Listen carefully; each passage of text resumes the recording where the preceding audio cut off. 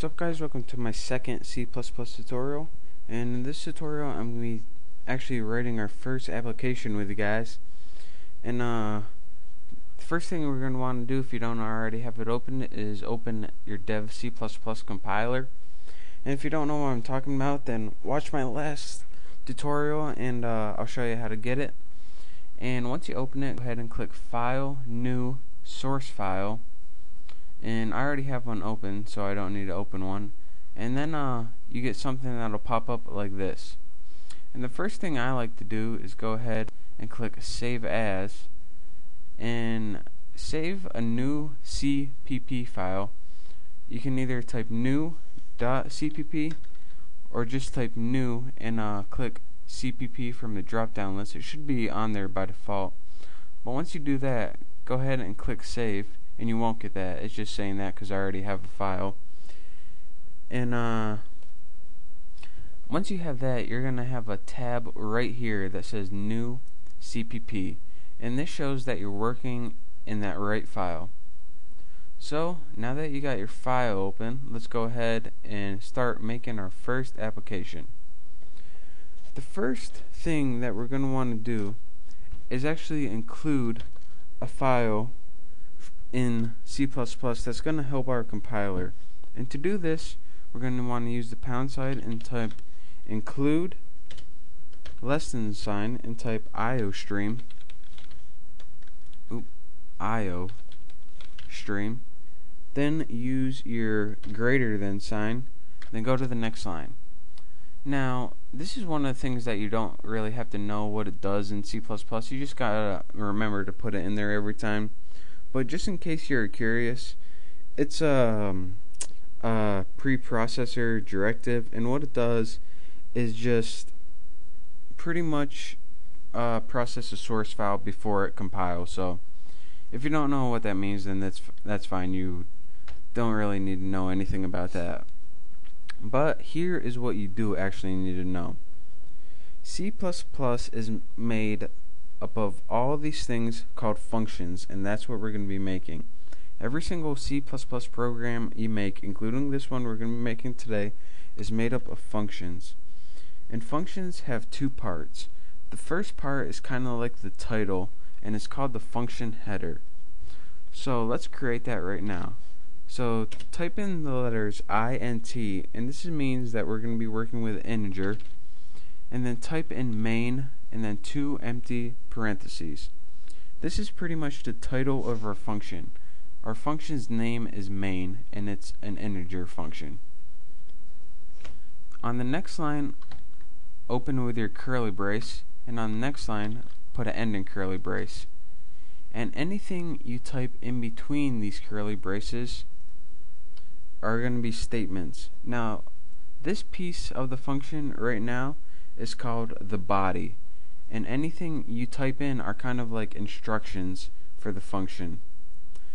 In in that sense I mean here's the title and but what do we want the function to do? Well that's what we're going to be typing right here in something called statements. So again to recap, we have a function right here. It's called the header and the statements are the instructions for the function.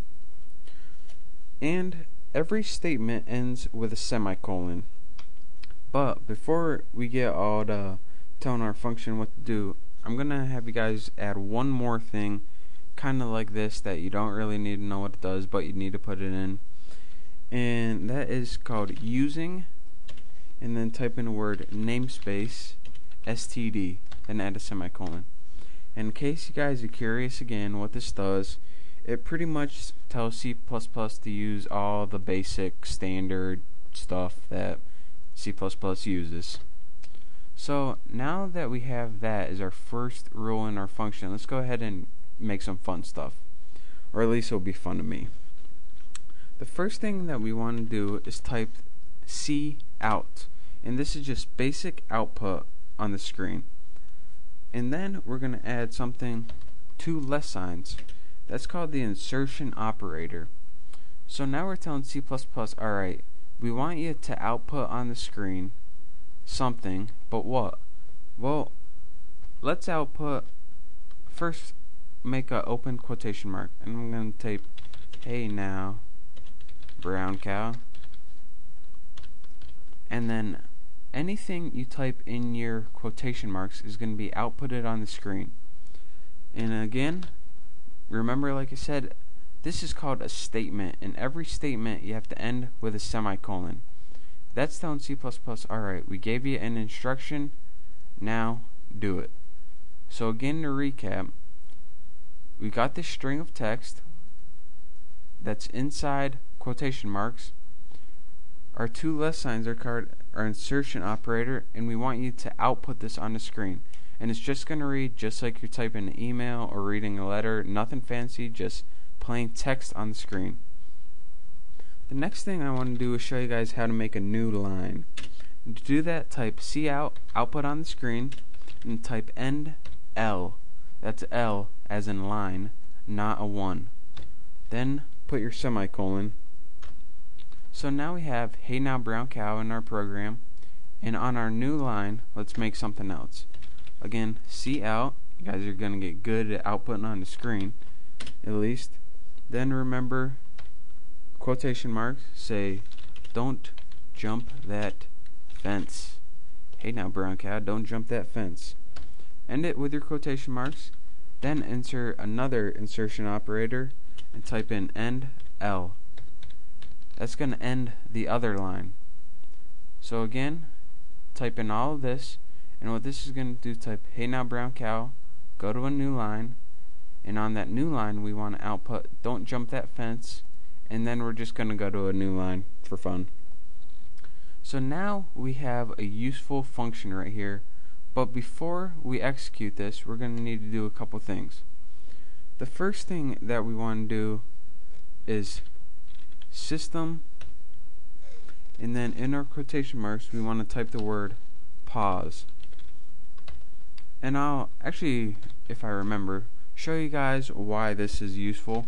What this does is allows you to stop and look at our function instead of just running it. I'll run it without this and uh, show you guys what it does.